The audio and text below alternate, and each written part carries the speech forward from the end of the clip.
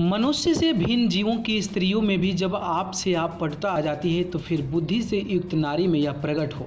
इसमें आश्चर्य ही क्या? मादा कोयल अंतरिक्ष गमन के पहले अपने संतान की अन्य पक्षी द्वारा पालन पोषण की व्यवस्था कर लेती है। खैर, कुछ भी हो, कोयल की आवाज़ का जादू इतना गहरा होता है कि बाकी की सारी बातें बेमानी हो जाती है।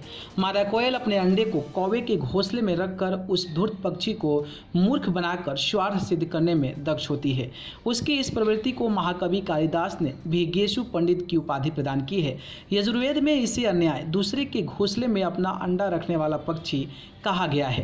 काग दंपति बड़े लाड़ प्यार से कोयल के बच्चे को अपनी संतान समझकर पालते पोसते हैं और जब वे उड़ने योग्य हो जाते हैं तो एक दिन चकमा देकर पलायन कर जाते हैं। यही नहीं, घोंसले में यदि कौवे की कोई वास्तविक संतान रही हो तो मौका देखकर उसे जन्म के कुछ ही दिन बाद नीचे गिरा डालते हैं। कोयल के नवजात शिशु में यह धूर्तता तथा कौओं के प्रति विदेश की भावना निसंदेह, वंशगुण और संस्कार से ही प्राप्त होते हैं। दूसरे के द्वारा पाले जाने के कारण ही कोयल संस्कृत में परभृता कहलाती है।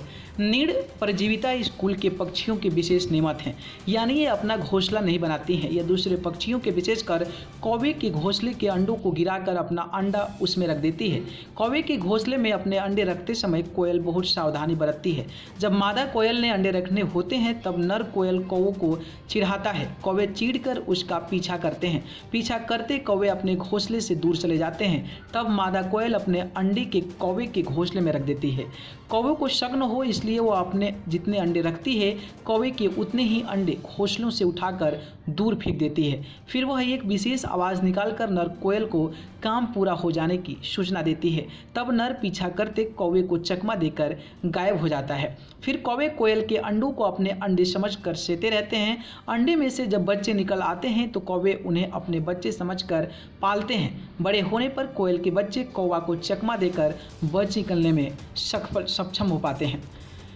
कैम्ब्रिज विश्वविद्यालय के वैज्ञानिकों ने पाया है कि कोयल के अद्भुत पंख उसे दूसरे पक्षियों को खुद से दूर रखने में मदद करते हैं और इसी का फ़ायदा उठाकर कोयल दूसरे पक्षियों को घोंसला पर कब्जा करने में कामयाब रहती है।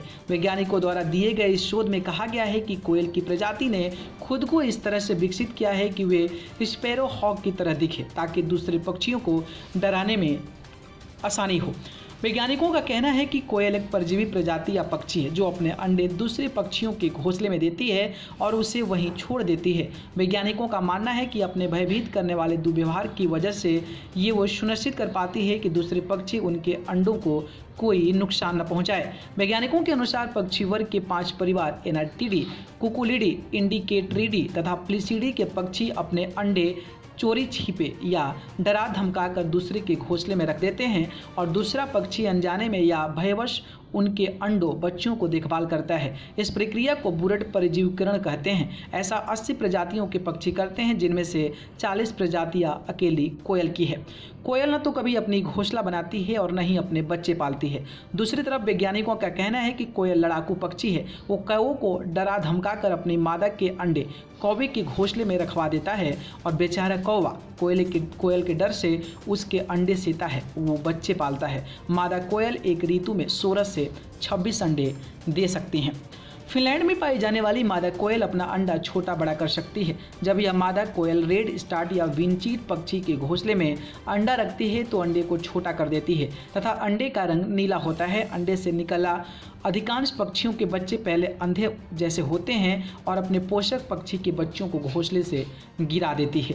हनीगाइड नाम का पक्षी बारबेट का कटफोड़वा जैसा तेज तरार पक्षियों के घोंसले में कब्जा करके अपने अंडे रखते हैं। जर्मनी में पाए जाने वाले ब्रूड बार्बलर यानी कि फाइलोस्कॉप्स सिविलेट्रिक्स पक्षी अपने घोंसले के कोयल के अंडे रख देख अपने अंडे भी छोड़कर भाग जाता है। यूरोप में पाई जाने वाली कोयल कुकुलस कोनोरस भी दूसरे पक्षियों के घोंसले में अंडे रख देती है। यह कोयल शाम को पोषक पक्षी के लौटने से पहले ही उसके घोंसले में अपने अंडे रख आती है और उसके अंडे फेंक आती है। उत्तरी अमेरिका में पाए जाने वाले मेलोथॉर्स नामक पक्षी को मादा अक्सर अपने अंडे ओभन सी पुरुष और को प्लस चिड़िया के घोंसले में देती है। दक्षिण अमेरिका और अफ्रीका में पाई जाने वाली बत्तखें भी अपने अंडे दूसरे के घोंसले में रखाती हैं।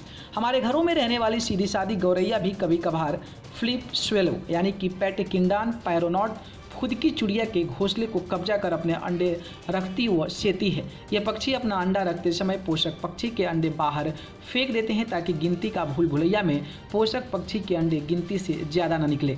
जंगलों में पिहकने वाला पक्षी पपीहा भी अपने अंडे चिलचिल बैवलर पक्षी के घोंसले में रखाता है। बेचारे चिलचिल पक्षी की मादा कई बार तो कई कई पक्षियों के अंडे सेती व बच्चे पालती रहती है।